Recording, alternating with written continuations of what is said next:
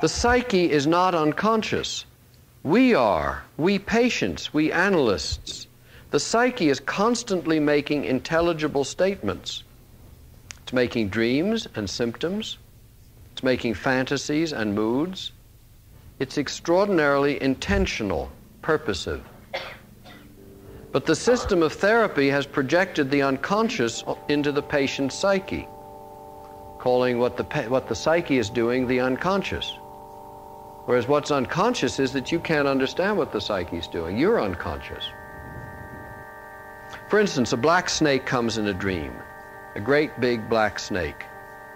And you can spend a whole hour with this black snake talking about the devouring mother, talking about the anxiety, talking about the repressed sexuality, talking about the natural mind, all these interpretive moves that people make, and what is left, what is vitally important, is what that snake is doing, this crawling, huge black snake that's walking into your life.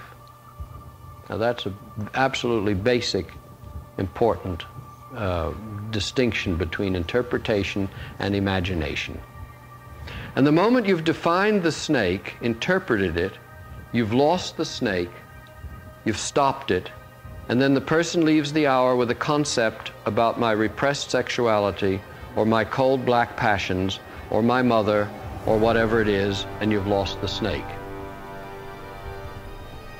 The tasks of analysis is to keep the snake there, the black snake, and there are various ways for keeping the black snake. You see, the black snake is no longer necessary the moment it's been interpreted.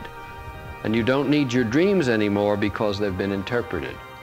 So you can also imagine that interpretation, redu reductive, clarifying interpretations, are a way of getting rid of imagination. And that's one of my complaints about therapy. I'm not saying that's what it does and has to do and only does, but that's one of the possible complaints about therapy that it can get rid of imagination rather than promote imagination. But I think you need them, the dreams, all the time. You need that very image you had during the night. The feeling that you need your dream isn't something that we live with usually. We try to fit the dream into the day world, although it comes from another place. See, at night you are in your dream walking around in it and you feel yourself to be enclosed in this scene, which is the dream. And the moment you wake up in the morning, you say, I had a dream, and you think the dream is in you. But at night, you're in the dream, the dream has you. You need that very image you had during the night. For example, a policeman chasing you down the street.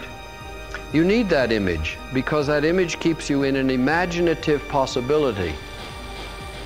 If you say, oh, my guilt complex is loose again and is chasing me down the street, it's a different feeling because you've taken up the unknown poli policeman into your ego system of what you know, your guilt. You already know you're guilty, and so you just put the label of guilt on the policeman chasing you down the street, and then you're, you're comfortable again. I mean, you still may feel guilty, but you're comfortable. The dream isn't doing anything upsetting to you. It's a different feeling because you've Oh, you've absorbed the unknown into the known, or made the unconscious conscious. And nothing, absolutely nothing has happened. Nothing. You're really safe from that policeman, and you can go to sleep again.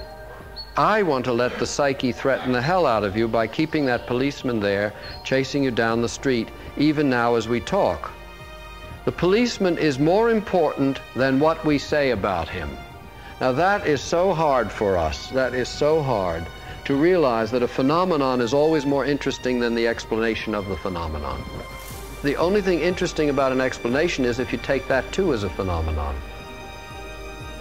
And then you can look at that again, and that's an interesting thing. But, but, if, but what we do with our explanations is somehow think they're more interesting or they're telling us more. And they do. They do tell the usual ego more because the usual ego is an addict of, of explanations.